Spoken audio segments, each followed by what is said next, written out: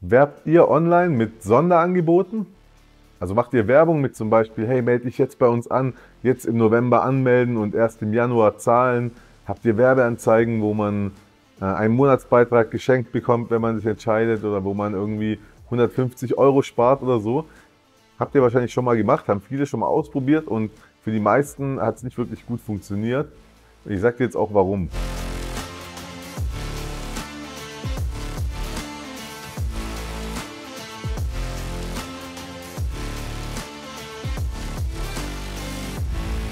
Sonderangebote können Sinn machen, gehören aber selten ins Marketing und vor allem nicht in einem niveauvollen Bereich von einem Hochpreisangebot. Wenn ihr eine gewerbliche, seriöse Kampfsportschule aufbauen wollt oder aufgebaut habt schon, dann habt ihr Kunden oder potenzielle Kunden angezogen, die nicht unbedingt nur auf den Preis gucken. Wenn du jetzt, äh, guck mal, Nettokunden, Billigkunden hast, die gucken auf den Preis, überall. Die fahren extra nochmal in einen anderen Laden, wenn es da 10% Rabatt gibt. Wenn man da bei der Duplo-Packung nochmal 80 Cent spart oder so, dann fahren die da extra hin, weil die es vielleicht auch müssen. Ist auch gar nicht schlimm. Aber wir sind in einem Bereich mit 70, 80, 90 Euro im Monat oder mehr, ja, dauerhaft, wo wir einfach eine Zielgruppe ansprechen, die überhaupt gar nicht unbedingt sparen will. Die sparen oder Sparangebote vielleicht sogar negativ findet, die nie irgendwelche Coupons ausschneiden würde und zum Einkaufen gehen, sondern die einfach ihr Zeug bezahlen will und einfach eine gute Leistung will und dafür auch bereit ist, einen fairen Preis zu bezahlen. So, deshalb, wenn du jetzt nicht einer bist von den Billiganbietern,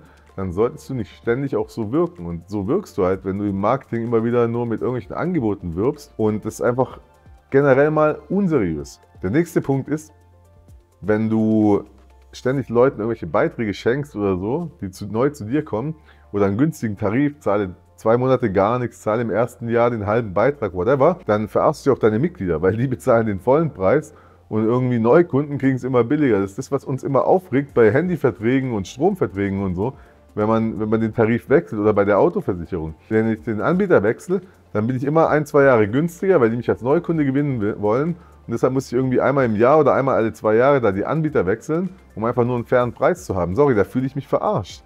Ich will doch als Mitglied günstiger fahren als als Neukunde. Deshalb allein schon halte ich das für, für nicht seriös, das halt sowieso zu machen, dass die günstiger fahren als deine bestehenden Kunden, die dir treu sind.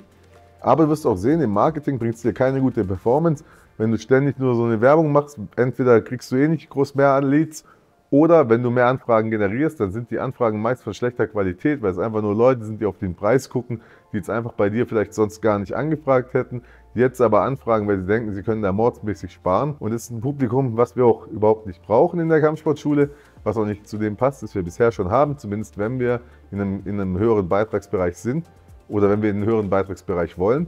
Und deshalb kannst du so ein Sparangebot vielleicht später machen im Vertrieb. Kannst du sagen, hey, wenn du heute dich anmeldest direkt, ja, dann kannst du XYZ sparen und dann kriegst du eine Prämie.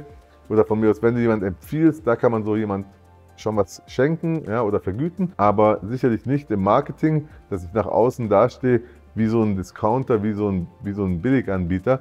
Das möchte ich nicht, sondern ich möchte ja seriös dastehen. Deshalb gibt es bei mir auch keine Black Friday-Angebote oder sonst irgendeinen Kram. Im Gegenteil, am Black Friday entscheide ich immer, wie viel ich ab 1. Januar erhöht. Das ist eigentlich meine einzige Tätigkeit am Black Friday und ich verramsche nicht meine Angebote, für die meine Kunden vielleicht sogar schon mehr zahlen. Das stellt mich als unseriös in der Öffentlichkeit dar. Das halte ich für nicht fair und das bringt mir auch gar nichts im Marketing.